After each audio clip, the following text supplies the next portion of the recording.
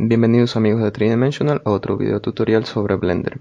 En este video vamos a aplicar todo lo que ya habíamos visto en los dos videos anteriores y vamos a hacer un video, o perdón, un modelo muy sencillo utilizando solo primitivos, los primitivos que trae Blender.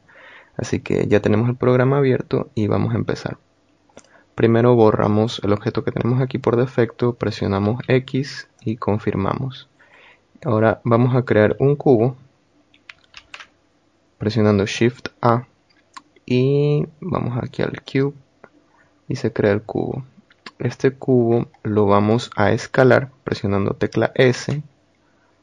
Vamos a hacer un poco más pequeño hasta que en las dimensiones aparezca aproximadamente un metro. No vamos a ser muy precisos, solo queremos que esté el cubo. Lo movemos un poco hacia arriba para que quede un poco elevado de la siguiente manera. Y ahora vamos a crear eh, un cilindro. Otra vez presionamos shift a. Venimos a la opción cilindro. Y antes de hacer clic en cualquier otro lado vamos a venir acá a estas opciones para de una vez ir haciendo algunos cambios. Lo vamos a rotar en el sentido mm, X sobre el eje X. Entonces venimos aquí y lo vamos a rotar 90 grados. Vamos a disminuir el radio para que sea mucho más pequeño y asimismo la profundidad. ¿Eh? aproximadamente ahí. Luego ya lo movemos y lo vamos a colocar un poco acá. Lo tenemos ahí. Vamos otra vez a presionar la tecla S y lo vamos a escalar un poco quizás así. Listo. Eh, si ustedes ven aquí está eh, este borde se ve muy muy poligonal. Si queremos que tenga un sombreado mm, liso venimos a esta sección y aquí está en shading eh, un botón que dice smooth. Entonces al presionarlo se suaviza ah, automáticamente todos los, vértices que tenemos. Pero aparte de eso también vamos a hacer algunos cambios porque quiero hacer aquí un agujero, una pequeña inserción. A ver, vamos a, hacerlo un poco más hacia adentro.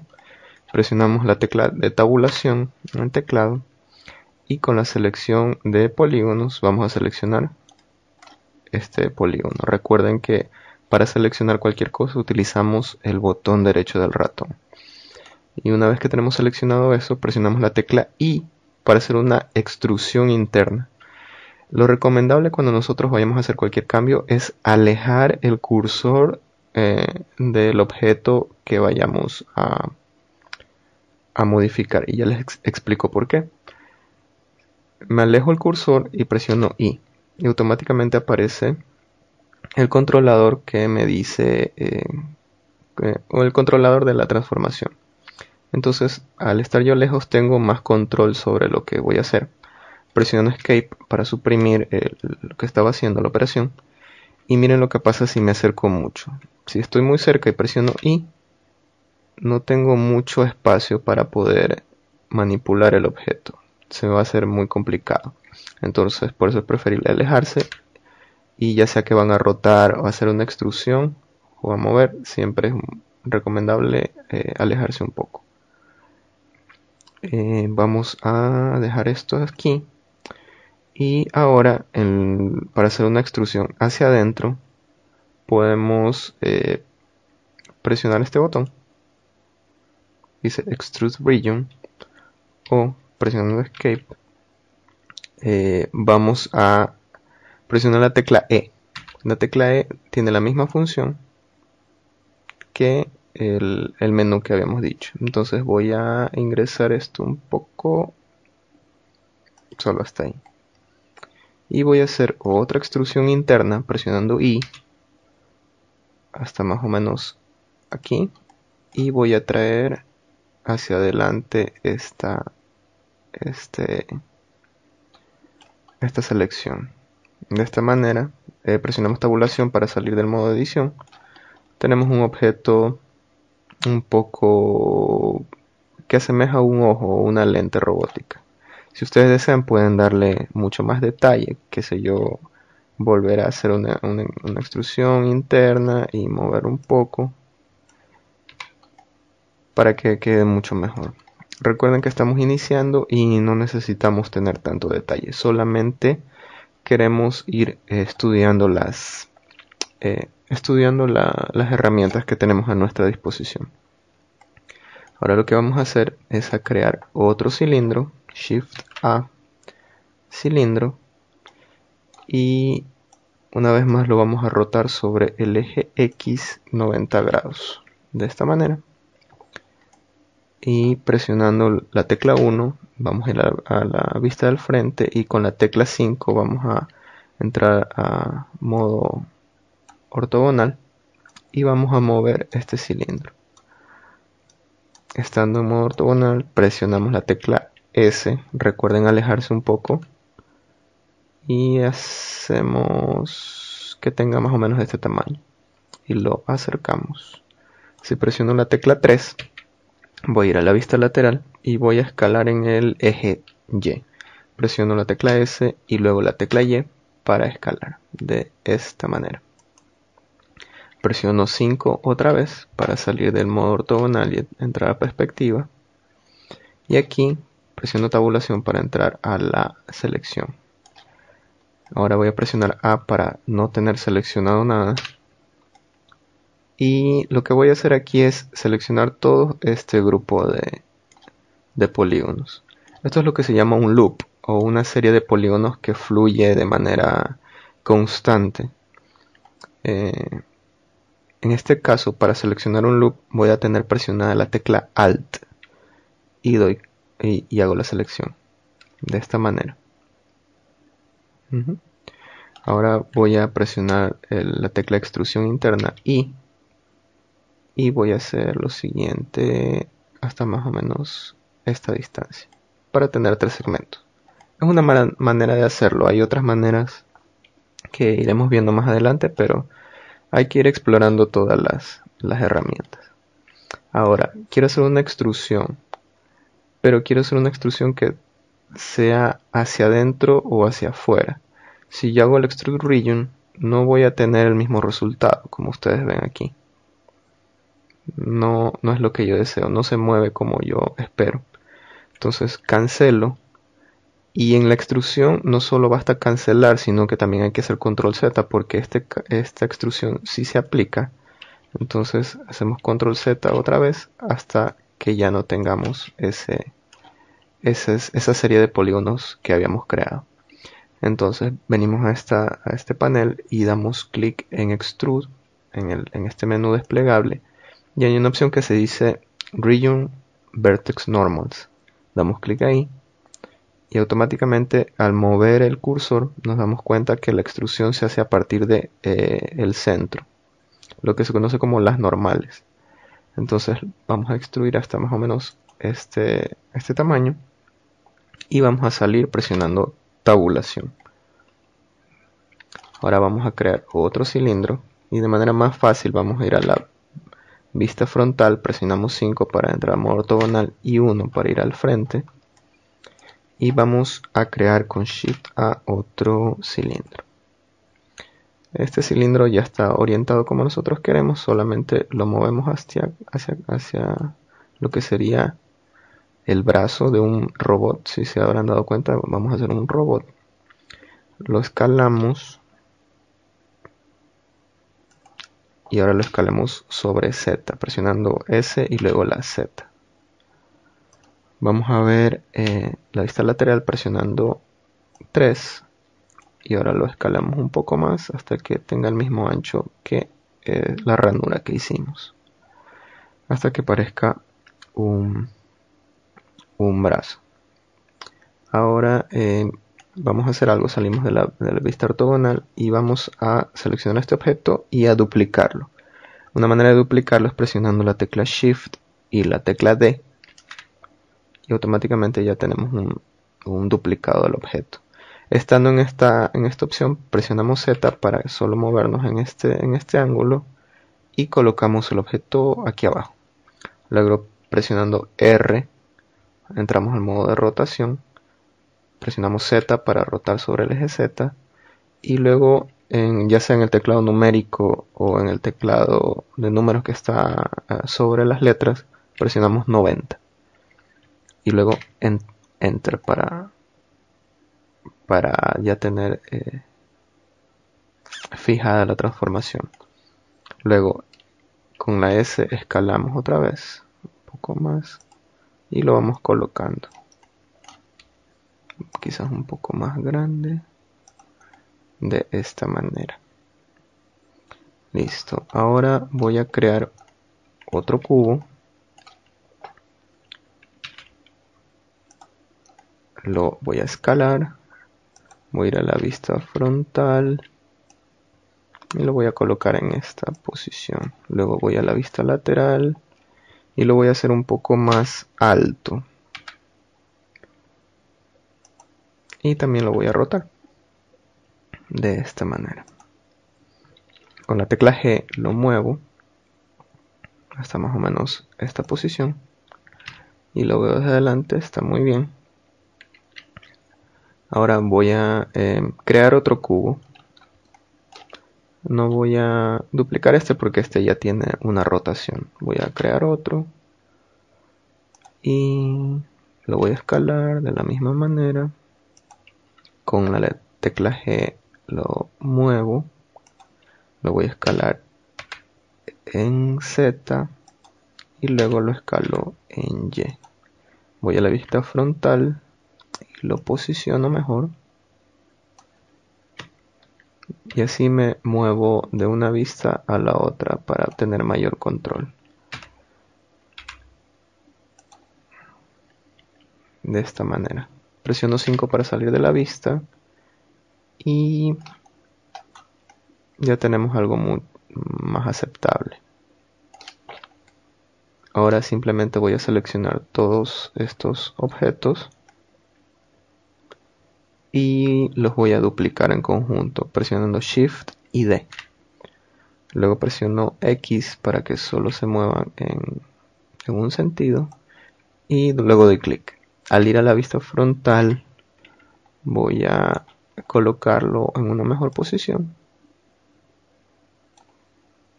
y ya lo tenemos ahí.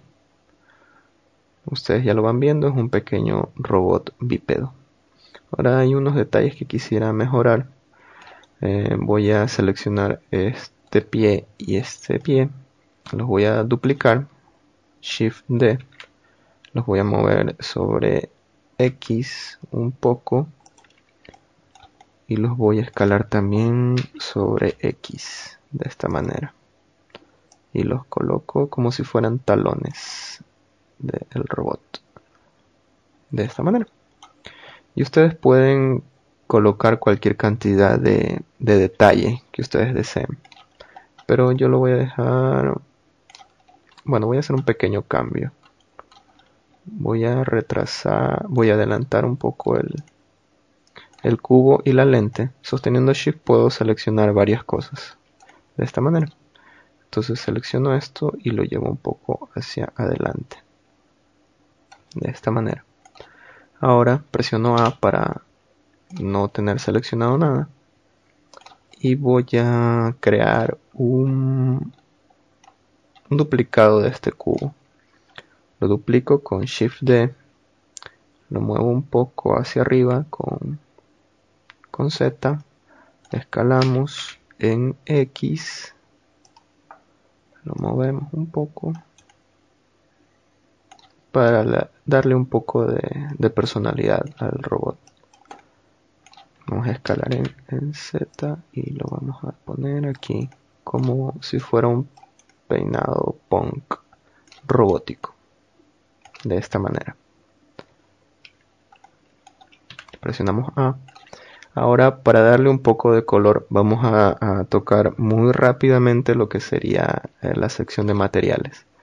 Em, vamos a seleccionar el cuerpo y si ustedes se dan cuenta del lado derecho donde está la, ventana de propiedades hay una serie de iconos ustedes van a ir a, esta pequeña esferita que es la sección de materiales em, un material eh, sería un método para colocar una textura. No hay que confundir material y textura, no es lo mismo. Un material eh, sería más bien un, como en la vida real, eh, definir de qué material está hecho cada objeto. Entonces, cada objeto que nosotros querramos que tenga una apariencia diferente, vamos a tener que crear un material diferente. En el caso de Blender nosotros podemos reutilizar el material y así ahorrar mucho más tiempo como ustedes ya van a ver. Selecciono el cuerpo y al venir acá a la sección de materiales voy a crear uno nuevo. Yo le puedo poner un nombre dando doble clic, vamos a poner blue porque es el color que le voy a poner. Automáticamente al crear un material eh, ven que adoptó el color que blanquinoso que está aquí. Entonces nosotros en Diffused podemos dar doble clic o un clic y cambiar el color un color azul y ya tenemos nuestro material ahora si queremos que este, este objeto tenga el mismo material no vamos a crear uno nuevo sino que damos clic aquí y vamos a seleccionar el material que ya tenemos. Aquí se van a, poder ver todos los materiales que nosotros ya tenemos en nuestra vista. Así que o sea, en, nuestra escena, en nuestro modelo. Así que simplemente lo selecciono y lo selecciono. Y en cualquier momento al yo tener este material seleccionado puedo cambiar de color y todos se van a cambiar igual.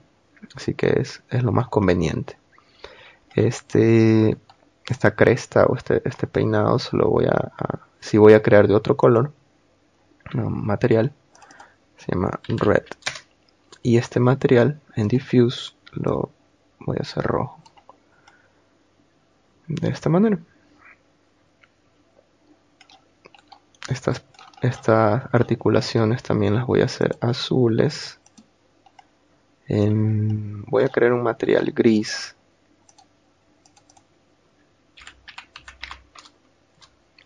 Gray o gray, no, me, no recuerdo.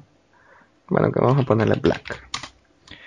Eh, y en diffuse eh, vamos a hacer un gris oscuro, casi negro, pero no es negro. Y vamos a seleccionar este objeto y los pies. Voy a probar si puedo hacerlo todo de una vez con varias selecciones. No, no se puede, hay que hacerlo uno por uno los talones. Y una pieza que no duplicamos y recién me doy cuenta es una de las articulaciones. Vamos a duplicar la shift D y la movemos en Z perdón en X. Y vamos a ver si está alineado. Quizás un poco más hacia la derecha. Hay maneras más precisas de hacer esto pero como estamos aprendiendo vamos a hacerlo de la manera más larga por decirlo así. Y estas articulaciones si las vamos a dejar de color rojo. De esta manera. Solo nos faltaría la lente. La lente la vamos a pintar también de negro. Y de hecho ahorita cambio de opinión y quiero tener aquí dentro de la lente una esfera. Voy a crear una esfera. Vamos a escalarla y a traerla hacia adelante. Vamos a rotarla en X 90 grados. Vamos a ver desde el frente cómo se ve. Pues, debe estar un poco más arriba. Y del lado va a quedar introducida en, en el cilindro presionamos 5 para salir de, de, la selección para salir de modo ortogonal y si vemos que el objeto está muy lejos y queremos tenerlo en el centro, presionamos el punto, el punto del teclado numérico, no del teclado eh, alfanumérico, sino el numérico. Presionamos el punto y ya estamos ahí. Eh, quiero que se vea más suave y lo voy a dar clic en Smooth y a este a esta esfera le voy a crear otro material que se va a llamar lente, lens y le voy a dar solo otra tonalidad una tonalidad verdosa y le voy a subir un poco la especularidad para que tenga un poco más de brillo. Y listo. Tenemos nuestro primer objeto básico, un robot bípedo muy simpático y que podemos utilizar para nuestros siguientes tutoriales. Así que ya eh, me he extendido mucho con este video, así que lo voy a dejar ahí y nos vemos en el próximo video.